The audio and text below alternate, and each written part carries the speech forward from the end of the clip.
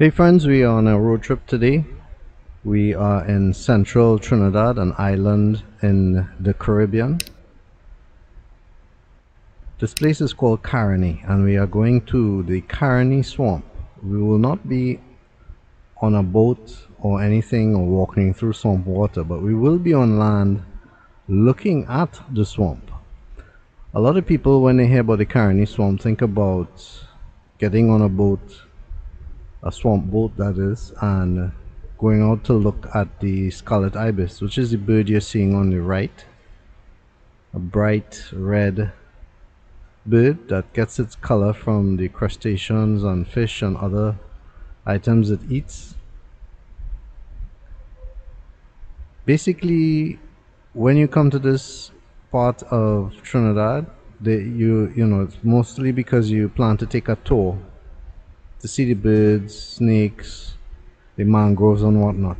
But a lot of people don't know that you can actually see a lot of that from on land. Of course, not as good as if you took the boat. However, you know, sometimes you want to do something you don't necessarily want to pay a whole bunch of money, especially if you're with your family, and you just want to take a little drive and see something. Well, you're going to see where you can go as near to the Caroni swamp as possible without actually going on a boat. Now if you follow the map which is on your screen as well you can see where I'm driving to. The way I came was from north you can get to here from south as well. And once you turn down here you'll notice there are different tour operators. That's one. And then upcoming on the right is another one. So there are different tour operators and it's all based on you know your preference what it is whatever else they offer and so forth. I, I'm not really highlighting any particular tour operator. Um, neither did they sponsor this video. I'm just simply passing through.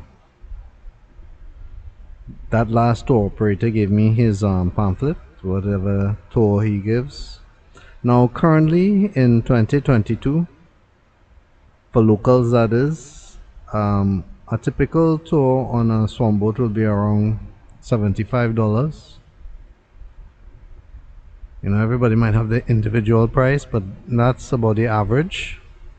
They would usually leave at 4 o'clock or some other particular time. They would go out into the swamp area and come back in at 6.30 there are others that will do it throughout the day as well. Huh? It's not limited at that specific time. You can also sponsor a boat for yourself and go out anytime you like. And for that, you would have to um, make whatever reservations or communication with the tour operators to do that. Now this road we're following, you can see it on the map, it goes all the way to the end of the swamp. And when I say to the end of the swamp not out to sea but to the end of the road there is a swamp. The water although it's on your right and it's on your left you can't see it because of the mangroves. So th this road will take you to where you will see the swamp properly. Now interestingly enough this compound here I believe is part of a tour operator Calpus but I'm not sure if it is also part of the overall bird sanctuary area. I'm not sure. If you if somebody knows and they could fill me in feel free. But this is more or less a private operation here However, they are very uh, accommodating and willing for you to look around, take pictures and so forth. And, and that's what I like, the friendliness, you know, not subjugating you to anything specific. But giving you a chance to, you know, get an idea of what the area is all about you can see on the map where we are where we came from and the tour that they usually give. Now here's the actual compound.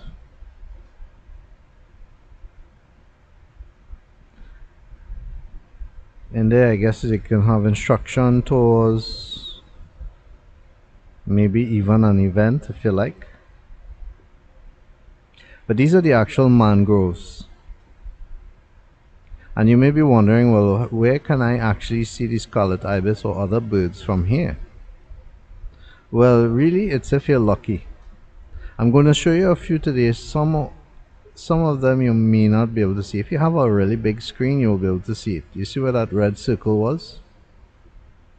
There's some birds out there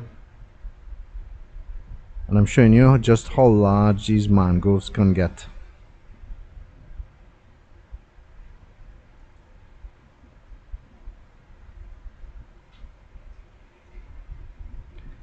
And you can pretty much walk to the swamp besides the trash as we always see you have to get past. This kind of broken I don't know what to call it path wooden path could get you closer but I wasn't really in the mood to go closer there because it's really muddy and it sinks. But if you have on some big tall rubber boots I guess you can look. The something that you can't see too well from this footage is there are like mini crabs all over and I actually have to watch where I'm stepping to make sure I don't step on any of them. I'll show you some of them later but you can you see those birds in the distance again if you have a big screen you'll be able to see it if you're watching this on your mobile it's not likely that you'll pick it up however I did manage to capture a bluebird very nice, very unique, very rare to see it. You'll see that later in this video. Now these mangroves that make up part of the Caroni swamp are really special and they're protected. It's about 12,000 uh, acres of land and it's not only governed by local law but by international treaties and conventions. The Ramsar Convention is one of those conventions that cater for the protection of wildlife and other sanctuaries around the world.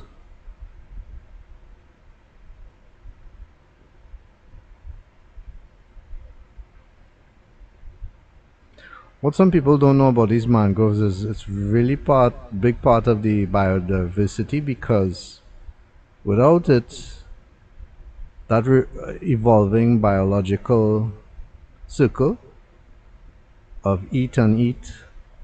In other words, the fish come to eat by the mangroves and the mangroves get their nutrients from the fish and so forth. If that's if that's you know hurt in some way by oil, by ravished by humans or whatever, it affects everything in the in the long run. So these mangroves need to be protected. And i'm not no, i'm not a biologist. I'm not a horticulturist. I'm not a geologist. So if any of you are more expert than me feel free to comment in the comments area of my youtube channel. And fill us in more about these mangroves i have some other videos where i went down south and i took some pictures of it they're really nice to watch. It's interesting how the roots are exposed from above water. And you could see where I was playing with some of those I shouldn't say playing, I was trying to find out whether the crab was alive or dead or what wasn't moving. Some interesting flowers. And if you're thinking nobody's around, yes, there are people around. I'm just trying to avoid getting them in the camera's view. Some people bring their children and stuff, and I personally can't imagine going on a boat, boat ride with lots of loud children. Some people like to do that. you guys know that I'm big on serenity and peace so when I like to visit things I like to get the feeling of the atmosphere. There's a lot of cats in, in this area and they weren't really much bothered about what we were doing. And I guess that's a good thing because cats are also good for keeping out rats.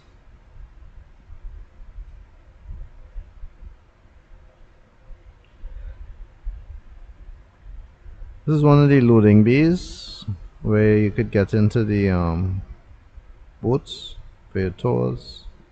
And this is what I meant when I said you could see a lot of the swamp. This is one area.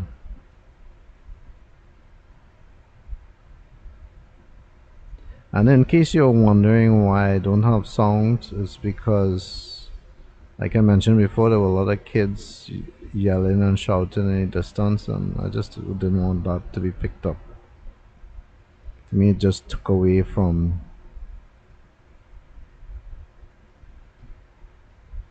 you know the feel of the area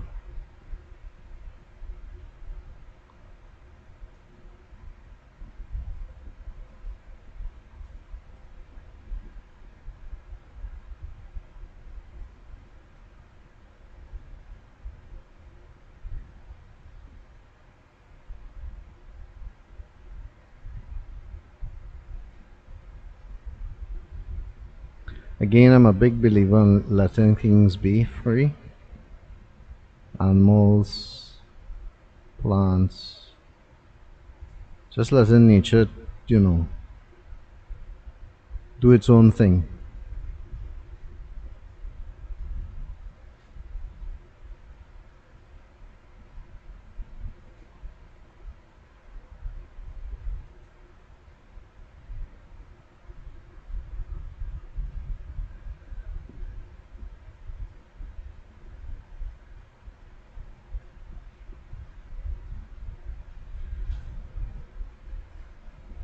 And of course JB's Man Cave is all about the raw so I'm trying to give you as much footage so you get a feeling of what it's like to be there if you were there.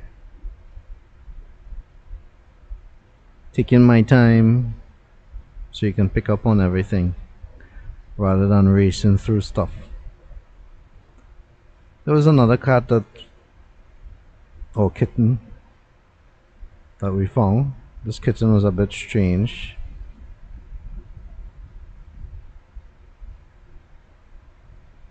Was just looking down all the time.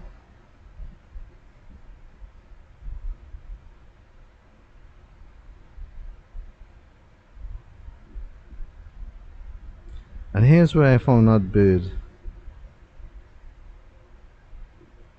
Can you see it? If you have your phone I doubt you'll see this. But if you have a big screen you'll pick up pick up on it. It's in the center of your screen where the circle is and that bird was looking for things to eat.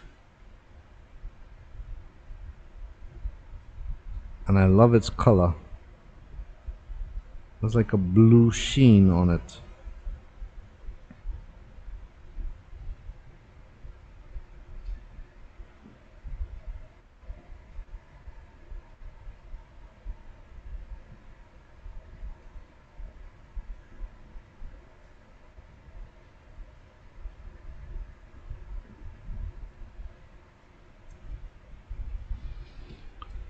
Now leaving the area where you dock on the boats uh, is across from it when you go across the road this is a path where a lot of the tour operators come through.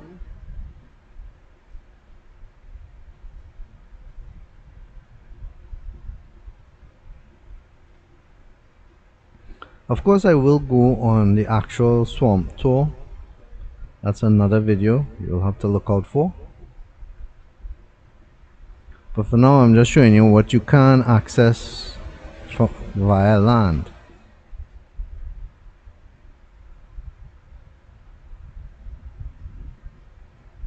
That's the road we came down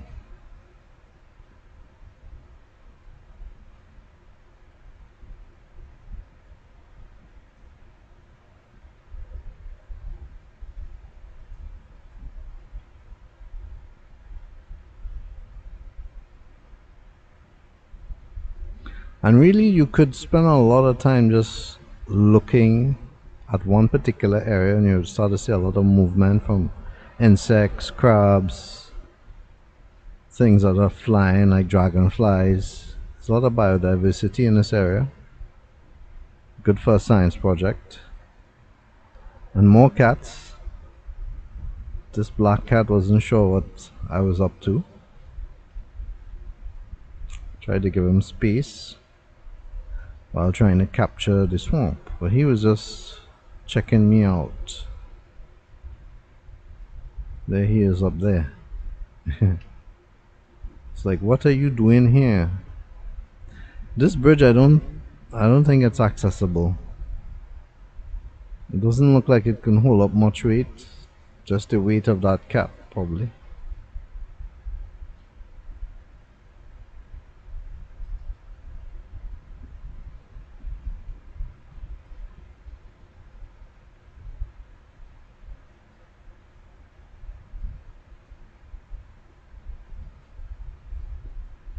One of the surprising things about coming in here is the lack of signage. There was a lot of signage on the actual road to come inside, but from the highway one would think there'd be a lot of signage about the Caroni Swamp, highlighting it and so forth. And I'm surprised that there isn't.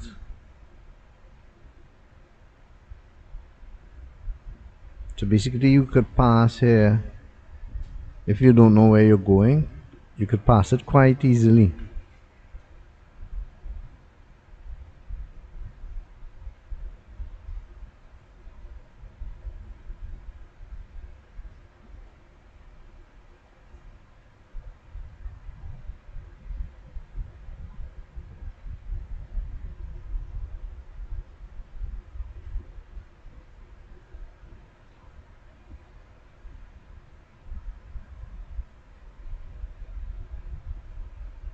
That cat's still waiting for me to leave.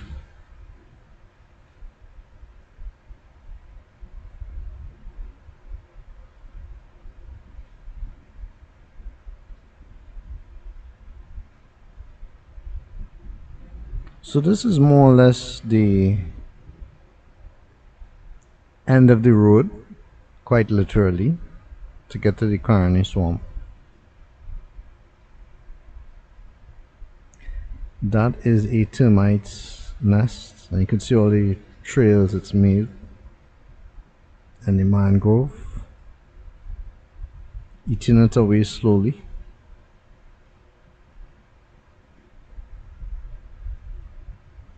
I have another video where I um, actually explore a bit of the termite's nest and I visited the botanical gardens. Check my YouTube channel if you haven't seen that now something you always have to watch out for in a lot of these videos is the fact that there can be snakes above and a lot of them may look just like the branches you see here of the mangroves. And the way they operate is they drop on the victims below. So not to be paranoid but you know just keep be watchful. In fact part of the tour is uh, is is is the tour operator showing you some snakes or a snake on a branch?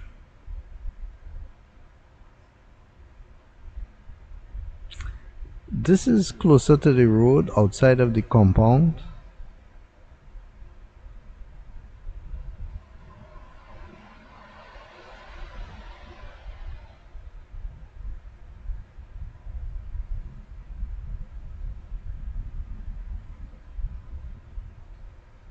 and what I'm gonna show you is I'll try to see if I can catch some actual boats passing by.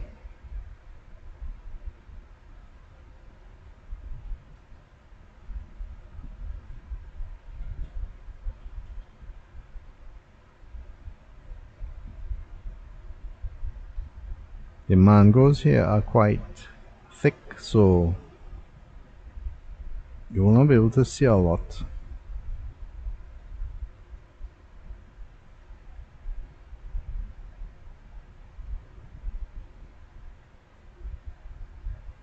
On the other side of these mangroves is the actual swamp. But really from this way it's not you know readily accessible.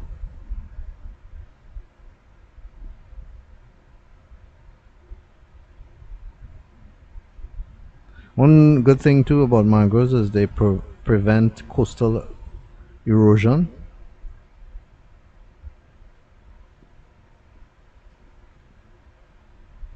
so really anywhere that you there's that problem you would want to have mangroves. And there's one of the um, boats or uh, there's two of them actually. I was trying to get what they were pointing to but I didn't I couldn't see it from here. Could have been a snake.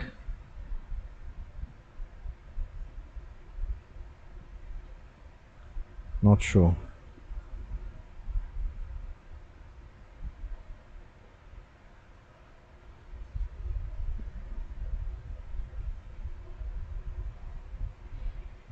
Can you see it? That's what they are looking at. I know you get an idea of what a tour would be like. And if you were around for Mother's Day on my channel, you would have recognized this flower. This is where I got it from.